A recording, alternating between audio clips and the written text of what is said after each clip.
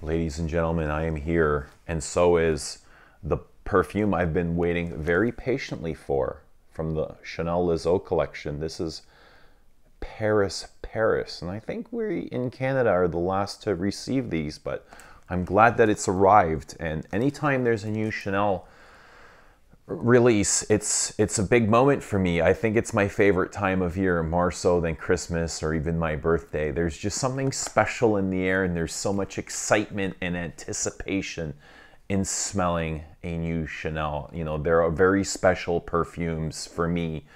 I connect with Chanel in a way that I don't think I do with any others. And um, even the Les Eaux, you know, for something that is uh, very fresh and light and dainty and watery, which Les Eaux translate to is Les Eaux is water, right? And um, they're just really to, to freshen up these Les Eaux.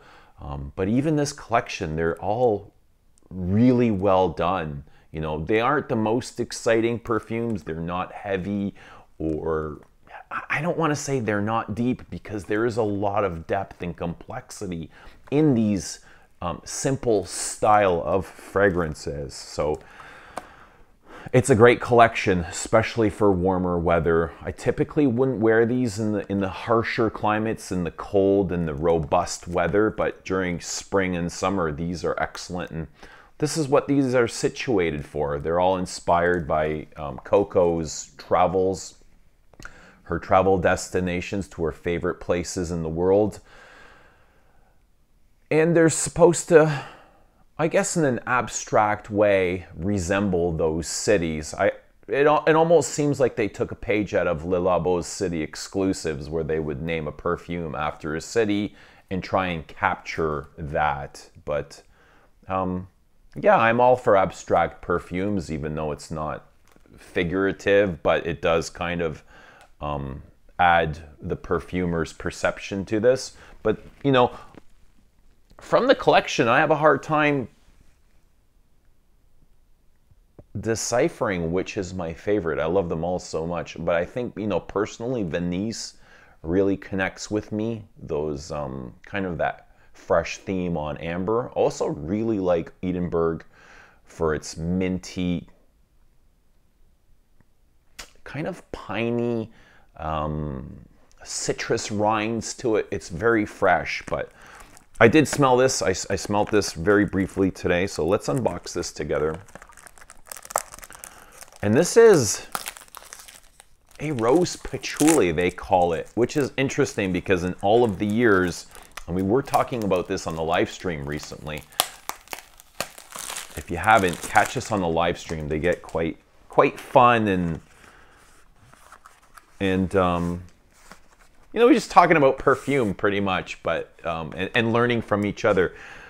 But it, it's come to light that Chanel's never really focused on a, a rose themed perfume, or they've never really had like a rose soliflore, which is interesting. I mean, they use rose in a lot of their fragrances, such as Coco is a huge rose patchouli, but there's nothing really that was centered around the note of rose, which is you know, it's it was kind of baffling considering like rose is the it's considered like the iconic flower that's it's just used by so many brands everywhere, right? I don't know, I just thought it was it was weird but interesting at the same time. All right, so let's open this. I do love the packaging. And, and again, it's Chanel and it's so simple, but it works. Um, Looks like they've added a little bit of coloring to this too, which they have throughout the line. Beautiful, right? It's just like this very faint purple. Really nice. I like that. Nice, sophisticated, elegant, simple. Really, really, really classy. Okay. We're going to spray Chanel on a Guerlain blotter. We're going to use Guerlain. But man, there's just something so special about these Chanels.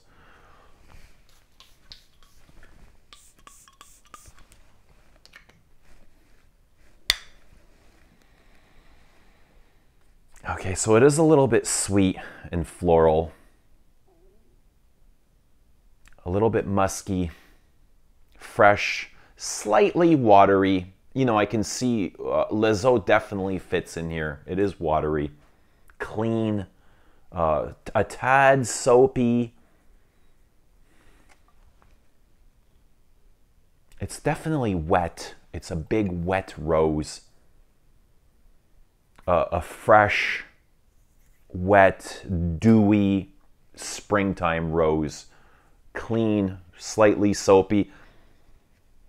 And again, you know, for this being the first time Chanel's focused on rose, I don't think it's the most unique thing. I've definitely smelled something like this before.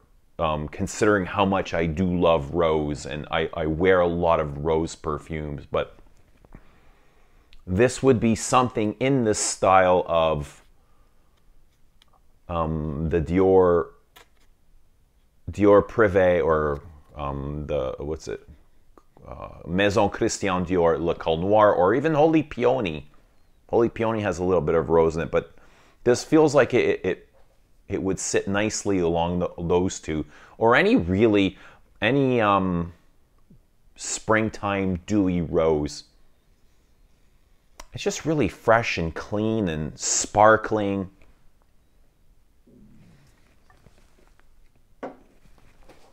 Me see what what the Chanel website says about this. I don't think they added any notes. Okay, introducing an effervescent fragrance that opens with fresh lemon. Okay, tangerine, then reveals the sparkling, playful character of Rose Damascena dashes of spicy pink pepper and woody patchouli add an unexpected twist. Okay, so it's interesting. Rose and patchouli. I love rose patchouli. It's one of my favorite combos. But when I think rose and patchouli, I always expect something like um, biting, right? Something heavy, something almost clawing you know, because it's a theme that's that's often worked in in French perfume, and it works. You know, it's used because it works. And I always, you know, I I prefer my rose patchoulis scratchy, clawy, um, heavier, with depth. And this, you know, I don't even notice there's a patchouli in here right now, and I'm sure there is, but it's just like a soft patchouli that they use on the base And this is more fresh than it is woody. It's probably even more, and I say anybody can wear anything, um, man or woman, any gender perfume, but this would, I would say this, this leans more feminine. I think most of them in the range lean more feminine than masculine. They might be even, I don't think they're marketed towards uh, men or women. The inspiration, let me see here. With Paris Paris, I imagined a sparkling floral composition inspired by Parisians' fiery spirit and effortless elegance. So it's definitely elegant. It is very elegant and it's restrained. It's not a heavy perfume at all. And I like that a lot. I love elegance and restraint. Sophisticated. But again, it's it's a very abstract inspiration inspired by Parisian's fiery spirit. I'm not sure what what he means by that, but it doesn't feel like a fiery fragrance. It doesn't feel very I mean, it is spirited, but it doesn't feel fiery like you would expect from a rose patchouli. It, feels more like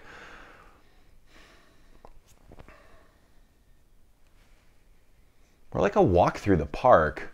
Where is? Give me one moment and I'll show you. Here's the postcard that was included. And, and, and this probably captures it more than anything. It just looks like, you know, a walk through the park. More than it, you know, it's, it's inspired by Paris, Paris, but this doesn't smell like a city. It smells more um, picturesque rose, um, rose stem, long stemmed rose, little bit of dewiness from the water. It's not biting at all. It's not scratchy. It's very classy. But there you go. I like this a lot. I do. Uh, but I'm a big fan of rose perfumes. It is slightly musky. There's a, a, a, slight touch of sweetness to this, which I like. And I can't, I can't deny it does remind me of those two um, Christian Dior's more so than any other rose perfumes. But there you go. Paris, Paris. Let us know if you've tried this. Let us know your thoughts. Let us know um, if there's anything else that you can add to this. But uh, I like this. I'm, a, you know, as simple as it is, I love the elegance and the sophistication of Chanel, uh, their style and their aesthetic.